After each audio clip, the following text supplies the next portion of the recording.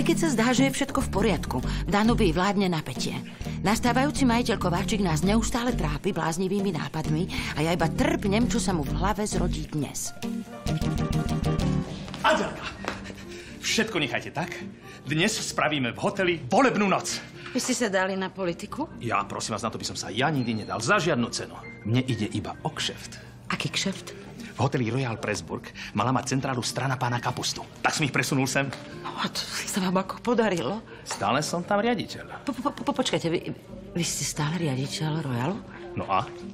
A, a zároveň budúci majiteľ Danubie? A nie je to konflikt záujmov? Konflikt? Nebuďte smiešná, predsa taký kšeft nenechám konkurencii. Volebná noc! Kedy prídu? Už sú na ceste. Teraz? Adelka, okamžite uzavrite reštauráciu a zabukujte nejaké izby. Ja tu na nich počkám. Ako chcete.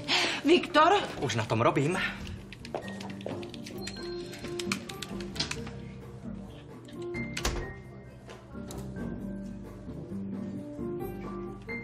Počujte, keby sa vás nejaký stranický pajac pýtal, koho ste volili, poviete Kel. Kel? Kapustová euroskeptická liga.